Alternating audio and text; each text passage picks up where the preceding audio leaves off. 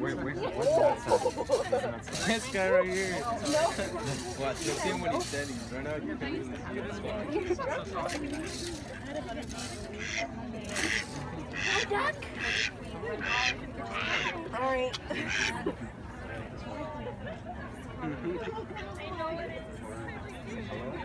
Yeah.